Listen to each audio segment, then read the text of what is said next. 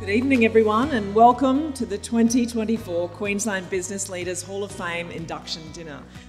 Tonight, I guarantee you will be moved, entertained, and inspired.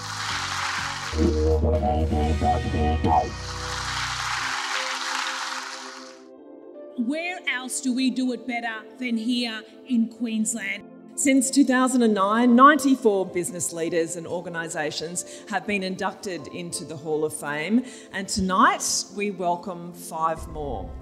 We got to give as leaders, we got to give to the people that need us. And it's not always money, it's normally our time. Thank you. Together, we can create a future where business and kindness go hand in hand. This is all about John Longhurst.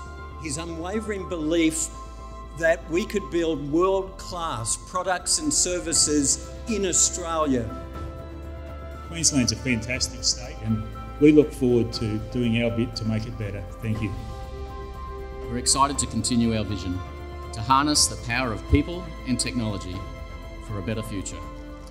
Congratulate tonight's inductees, the risk takers who've helped making the Sunshine State shine.